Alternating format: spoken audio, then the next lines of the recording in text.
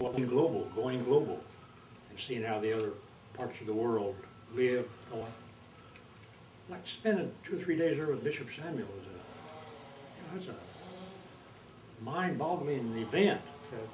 And then particularly after the Sadat massacre, uh, Well, you forever after look at events going on on the globe, in the globe differently than you would have if, I mean, whether we were there or not, I mean, other people have been, I know and love.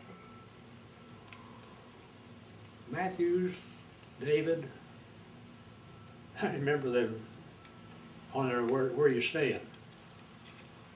I naively walked up, a- asked Joe or somebody, where are we staying? You had to fill out this visa application to enter Singapore. Mm-hmm. This is when they'd stop you if you had long hair. I mean, they'd stop these kids, pull them off, either get your hair cut or get back on the plane out of here. You don't, come into this country with long hair. Uh, But he, he said, I'll put Hilton down. I wouldn't do it again, I, but I was naive, I went in. If you did stay at the Hilton, they'd find you. I don't know what. We stayed out, David Scott was the prior in Singapore at that time. And he had this house that had been spooked. And was like a haunted house, but the neighbors and everybody, nobody, but he, we rented it, the, the institute, he, that was his, it's the first time I ever took a shower outdoors, all the showers were outdoors.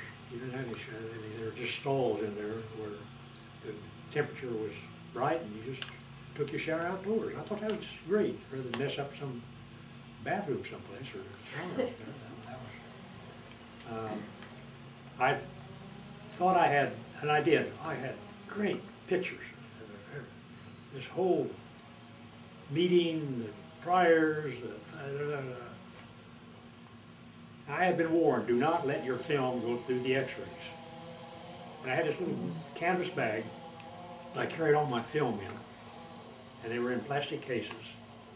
And I, in, when I arrived in Los Angeles, it went through the x-ray, then I went out, and it came back and it went through the x-ray again.